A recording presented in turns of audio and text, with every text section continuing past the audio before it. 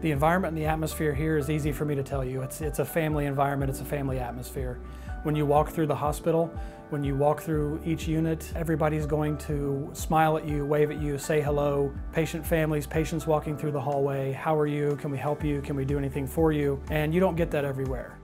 Franciscan has a cohort program that I am currently a part of, and I go to um, University of Indianapolis, and they partner with Franciscan, and I'm getting my Master's of Science in Nursing with a focus on leadership. It's uh, an expectation everyone continue their professional development, and it's not just me as a nursing leader, it's my staff as well.